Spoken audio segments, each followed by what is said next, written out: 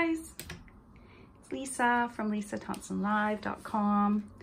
Um, today I have a glue book I'd love to share with you. It is um, a real mishmash of, of images. Uh, what's unique about this is actually a 1968 Brownline Daily Journal.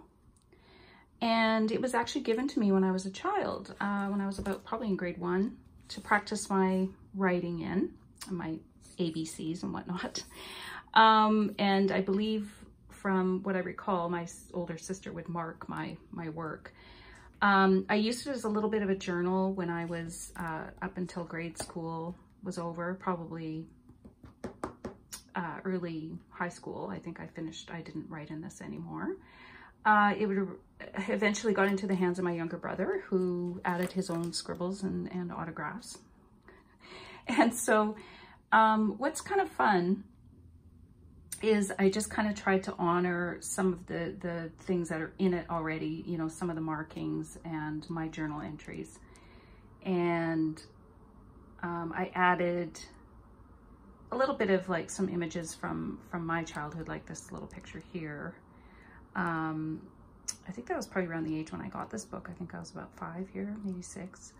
And this is my own hand drawing from high school. And this is a little ad of Tatum O'Neal in Paper Moon, which I just loved her in that movie. I always, she reminded me of me. Um, so I thought, well, that would be fitting to just add in here. So without further ado, let's let's do a little flip through. Um, but I just kind of wanted to, by way to express, uh, the, you know, the meaning of this book and for some weird reason how I um, have kept it all these years. And I, I don't know, I, I've lost so many things over the years from my childhood that I'm actually honestly kind of surprised that I still have this book. Uh, so about a year ago, I thought, or maybe less than a year ago, I thought, you know, let's do something with this. Um, so I just thought, well, let's make it into a glue book. Um, Johnny Cash was my favorite singer as a child, and so I thought that was fitting. I did try to honor a little bit of childhood things, but in the end, really, it's just a bunch of images that I kind of, you know, liked, or I tried to sort of color, do color um, coordination. So some of these pages I haven't decided, you know, like, for example, I might leave this the way it is. Um, this is scribbles on top of scribbles with images. One of my favorite childhood books, Pippi Longstocking. So it's, like I say, very much a mishmash. I don't know. Uh, uh, there's some pages that I still want to add a little bit to. Um, this one to me is finished.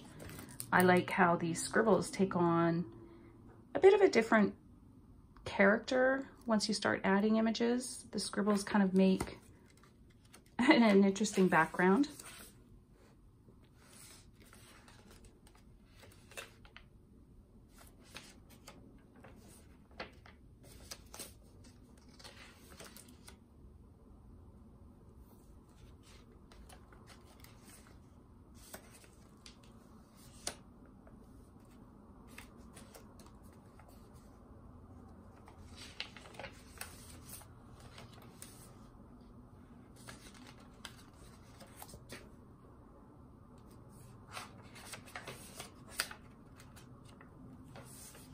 I did also tear out quite a few pages um, and it's still quite puffy and um, there's still some blank spots that I'll probably be adding some spreads to.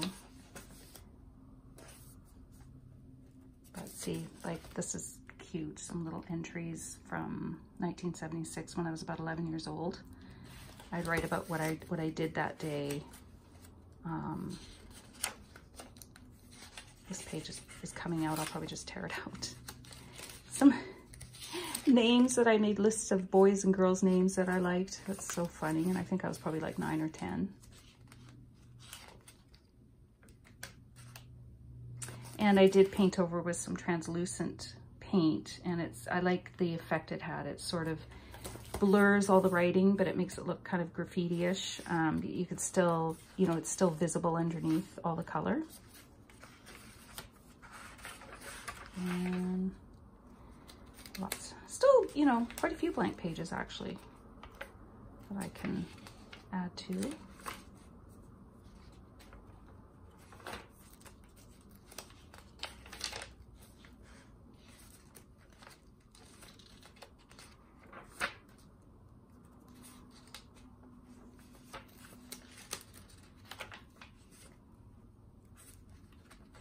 And it took, the pages took watercolor very nicely. Um, it didn't buckle, which is surprising because the, pa the paper is so old. But um, I thought that's kind of fun, a little um, party type thing over top of this scribble. Um, so it's, it's meant to be a little bit playful still, kind of childish. And yet in some ways, you know, I like I do put fashion pictures in and, um, you know, it's definitely an adult book, but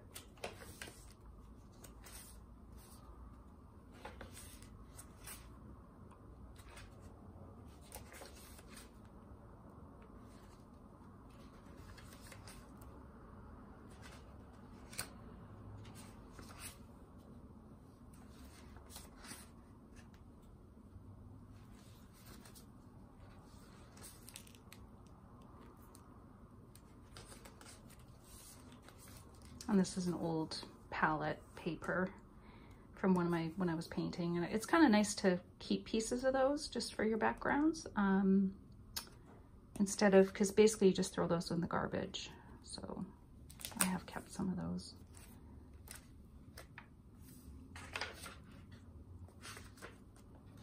Again, you can see like this, this was already here and I'm just kind of leaving it exposed.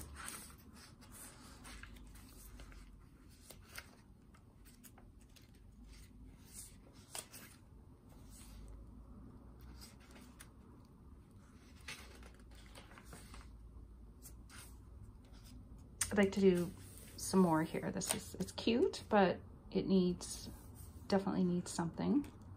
And I haven't decided whether I'll cover this little drawing up. It's pretty funny. I might leave it. I think that was my brother's drawing. That wasn't mine.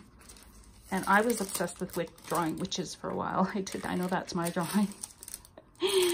so um, who better than Anjelica Huston as Gomez's wife. Oh gosh, I'm sorry, I forgot the character's name.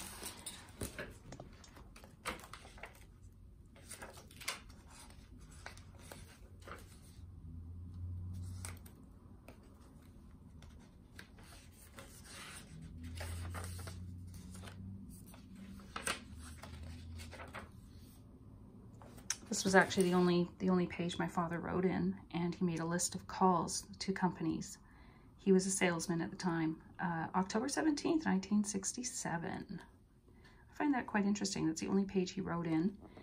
And I put this image in because it just reminded me of that era of the men being at work and going to their luncheon buffets after their calls. And um, it's it's kind of cool. I, I don't know why he didn't use this book. He must have found something better that, that was, I don't know, more useful. Maybe this was just given to him by the company he worked for. Um, but in, any case, uh, it landed in my hands as a young child and here we are.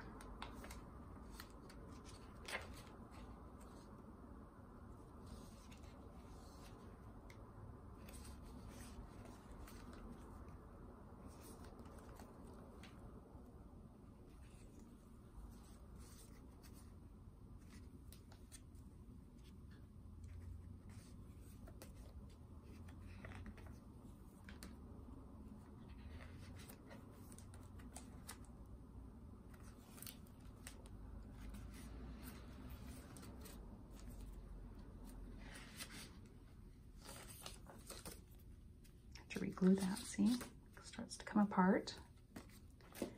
That's okay. Nothing is perfect. These are just meant to be a pleasure to flip through.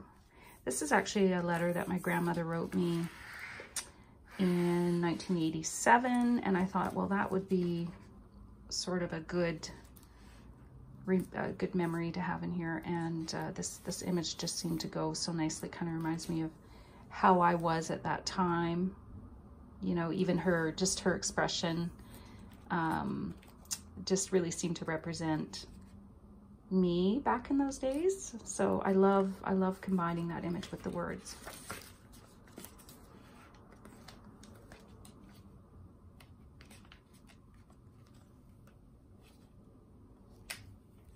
And all of these images are basically just from old magazines that I had. I didn't buy anything to add to these, um, you know, napkins, tissue. Um, and again, I did try to, I left some things undone. Like this is, I don't know, it's kind of interesting. Um, and same with this last page, you know, calendars, you know, the scribbles from the original um, thing. And I just added this little slip here to put stamps in. Um, but, and that's the back. You can see that it's, it's starting to actually peel apart. So I'll probably have to like tape this whole section with like stronger tape. Um, but that's, you know, that's it. Uh, I think it's kind of fun. It's, um, a nice way to use an old book that was just hanging around with a bunch of scribbles in it. And uh, it's I, I, enjoy just handling it and just flipping through and looking at the images and, and gluing. It's just kind of therapeutic, honestly. um, like, so there is still these, you know, blank, blank sections that I, I can continue to add to. So, but it's getting there. And I thought, just thought it'd be fun to share with you. So do leave a comment if you like. If you do glue books yourself, I'd love to see yours, maybe leave a link, and I'd love to come visit your journal flip throughs. Thanks for joining me, guys. See you again soon. Bye-bye.